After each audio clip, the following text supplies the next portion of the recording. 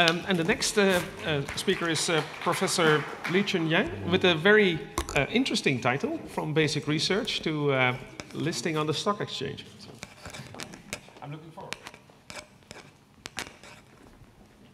Good morning. I must declare that I have, uh, no, I'm no expert in extracellular vesicle. My specialty is actually cardiothoracic surgery, and secondarily in helping my scientists spin off companies that I have done uh, quite a few. So, over the years, in the last 15 years or so, I worked with two groups of scientists Lim Sai Kiang from ASI in Singapore, and T.T. Phan and Ivor Lim from my department. This talk is designed for the young scientists among us. I encourage people to spin off company to benefit the world. And you should aim high, go beyond science so that you can benefit the humanity. And you need a lot of toughness, as I shall illustrate. So why do we need to spin off company? It's because if you want to solve clinical problems, you have to reach the patients. Otherwise, you will just publish and forget, and soon everybody will forget about you. Secondarily, if you do have a spin-off company, the funding that you get will come back to your center and help research. So the company that we spun off, once they are listed, they promise to give us a lot of money back for research to encourage the younger people. And the third, it gives an alternative career. Instead of dying as an old professor, you can die as an old CEO. So there are two examples. One is Cell Research Corporation that we started since 2002. It is uh, a lot of stuff they can do. It's going to be listed in New York and Singapore Stock Exchange next year. The estimate is between one to three billion US dollar, but I don't believe that until we get money in the bank.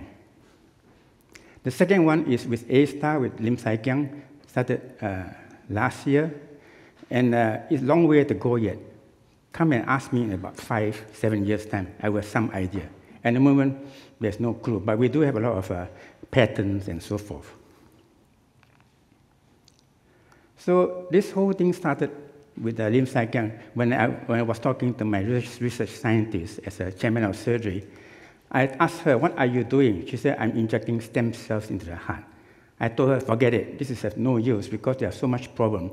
So we decided to throw away the stem cells and focus on the paracrine factors. So as a result of this, we have discovered exosomes, and from there on, a lot of publication and research steps and last year, we formed Paracrine Therapeutics. So, of course, the whole thing starts with science. Important, good science is the basis. And while we are doing science, we have to start thinking of the application that can be used. So you are familiar with these people, Dominic Decline, Birgitte Lane, and so forth. They were already thinking of what can be used in particular diseases as they are doing their research.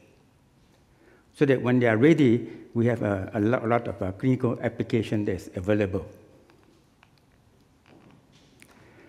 So there are a lot of problems in Singapore. So it's like the inferno. Abandon, abandon hope, all ye who enters this space. We are good in research, creation IP, incubation, but then we have problems. The founders, after this space, there's a gap.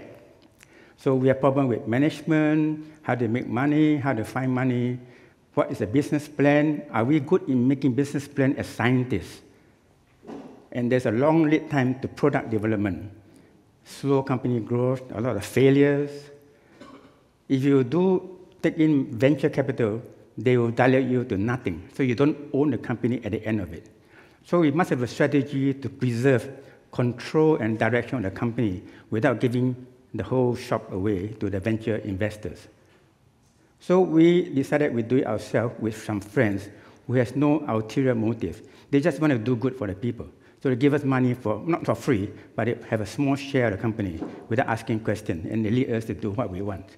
And so you need a lot of good friends like this, not the vouchers, which are the venture capitalists. So essentially, I told Sai and I told TT Phan, keep control of our direction. Don't let other people tell you what to do. And of course, there must be a strategy of a low-lying fruits to, to have a revenue stream before we reach the global markets. We are fortunate in Singapore that we are emphasizing biomedical sciences. So there's a lot of money in the system, but we know how to, must know how to get to them, and then how to translate and commercialize. And we also want to cap value capture for the country.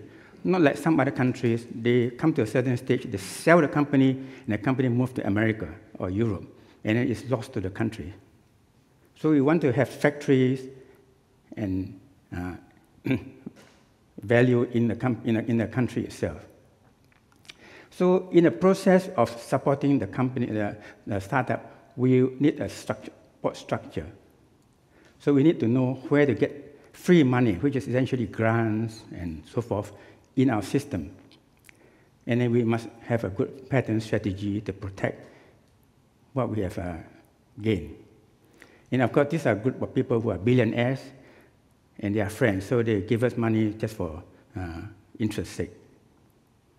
And you need have a good or large collaborators within the system to give you support, clinical trials, animal trials, and so forth. And there will be facilities that you are unable to find within the country, such as GMP facilities. So our strategy is to find them where they are, available, such as Denver and in uh, Salzburg. And once we have sufficient resources, we can build our own within the country. So we have plenty of partners everywhere, China, Malaysia, Vietnam, for the uh, Life company. So it's important to have an income stream. So the lowest income, uh, the easiest income stream is cosmetics. So we have liposome company that produces Visiderm, which is selling quite well, and this gives us revenue and keep us alive for a few years before we go to uh, ask for further funding. And this is, of course, lower, lower regulatory hurdle and our investors may be impatient for early revenue.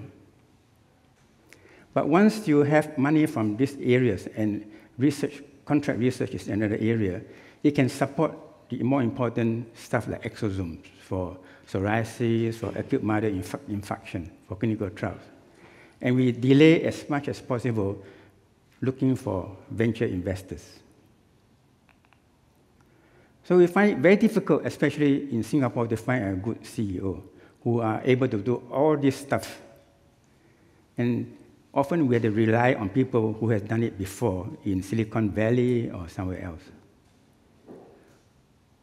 So if there's anybody here who might want to spend a few years in Singapore becoming a CEO, let me know. There are many companies looking for you.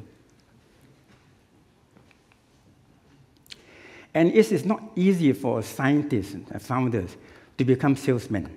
I find that many of my scientists are unable to negotiate. They are very good in the lab, but outside the lab, they are lost. So you have to train yourself to negotiate deals. Cost, margins, milestone, deliverables, exclusivity, contract, and all kinds of things. You have to be knowledgeable of this as you prepare to uh, get into the real world. This is not the same as in the university. This is a hard reality. So at some stage, you have to decide what is the option. Do you want to sell the company to a big multinational or you want to keep growing? So there are a few factors. Number one, how much staying power do you have? Are you going to go broke next month? If you're going to go broke, then sell the company. How young or how old are the founders? If you are 40, 50, 60, you still have many years to go. You can uh, go the distance. But you're already 80 years old, maybe you sell the company, you know, get the money and go to go fishing.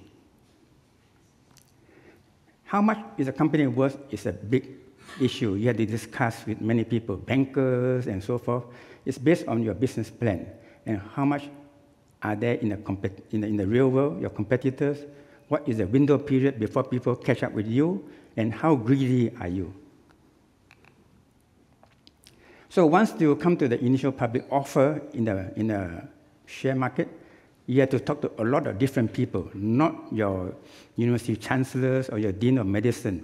These are people who are bankers, investors, lawyers, stock exchange people, auditors, uh, owners, and public investors. They, they, they are different animals from us. We are talking to each other as friends, but they talk to you as adversary. And once you are ready to list, there's another whole set of things you have to uh, encounter.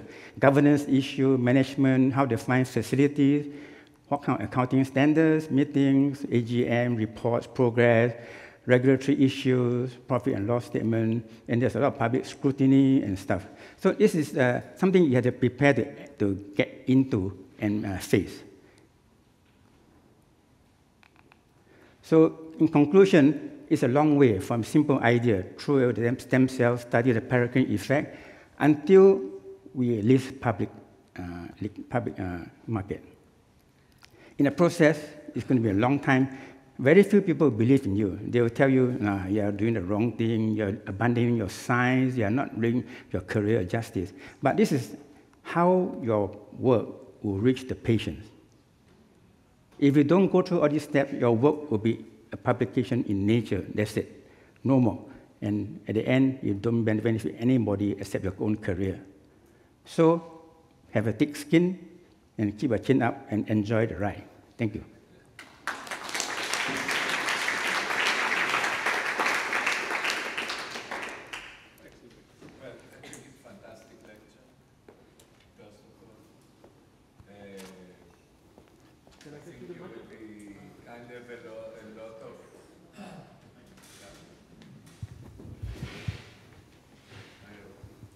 I think it uh, was a fantastic lecture, really enjoyable, and your slides are, uh, are wonderful.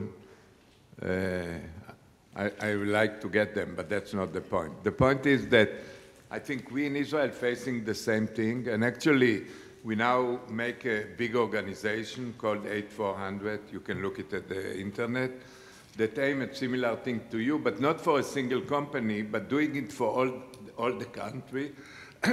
to build a network of people. We pick up the young. Slowly, we introduce more and more people. It will take time to build a network and educate the people to manage well the system, all the points you discuss here. So we want to get director at a senior level, let's say R&D director and CEOs and CFOs and these guys that can really do a good job, can speak with the outside world, can deal with the with the investor, can deal with the IPO and so on, but they need a lot of education. We also have another program we made, which is a kind of uh, give the background on what the biomed field mean, divided to three parts, to digital medicine, uh, medical device, and pharma, and then we hope to build the structure. So I think, first of all, I would like to talk with you and maybe we can communicate and do a few things together. It's really two can make uh, together much better than one in development, and we are not competing, although we get quite a lot of money from Singapore, as a matter of fact. And, and uh, I think your, your advice to the young people, I think without the really building the startups and going further, the, the things we develop will have no value, really. Will just yes. be a paper. And actually, people know, have here to know that there is an opposite correlation. If you publish of nature, the chance that you get a drug on this is smaller than if you publish in, uh, in pharma research yeah. for some reasons. that very straightforward correlation. So, I mean, we all like to publish in nature. It's very good because for our promotion, but from point of view of practicality, it's very different thing. So I think we really, without going the, unfortunately, they need the commercial way. We, will, we cannot bring what we invented to help the society. I'm not talking about money and all these aspects, but what we develop should be, and I don't know if anyone know what is the chance that you, from the animal study, to get a drug approved by the FDA. Anyone know what are the numbers? Probably less than 5%. Eh? How, how many? Less than 5%. It's one per mil exactly. Yes. For drug delivery system, it's two and a half per mil. That's very good, but we want to get it today to one percent. Yeah. That's, and then we can be. It's shocking the number, shocking, but that's the real number. We don't know about failures. You know, here we hear about things in advanced state, success. So, bottom line, one of the problem we don't do it right. So, one of the things is what you proposed, and other similar things to, to make it the right way. So I wish you a great success. So three things. Number one, we need to talk after this. Number two, you can have my thumb drive. No, no problem. Number three, I just talked to somebody from Temasek, which is a big uh, no, sovereign wealth fund. They're interested to invest in nano drug delivery system. So if you have good idea that uh, may want to surface to them, just come to, uh, talk to me. Right. Well, thanks a lot for the summit. And I think it's, it's, it's nice to note that uh, within Europe, uh, initiated by the European Technology Platform on Nanomedicine, there's now the Translation Advisory Board that tries to stimulate and bring together uh, people indeed from two different worlds to try and connect this. And uh, well, I, I, I see this uh, worldwide. And uh, But one thing about Singapore, we are too small, we have not enough brain power. So we need the brain from Europe and other places to enhance well, our actually, I, quality. I, you, you drew your, your, uh, your the, the, the cliff uh, basically, I think, even a little bit further than it is in Europe. In Europe, we would have fallen off the cliff much earlier. Thanks a lot again. Thank you. Uh, next speaker.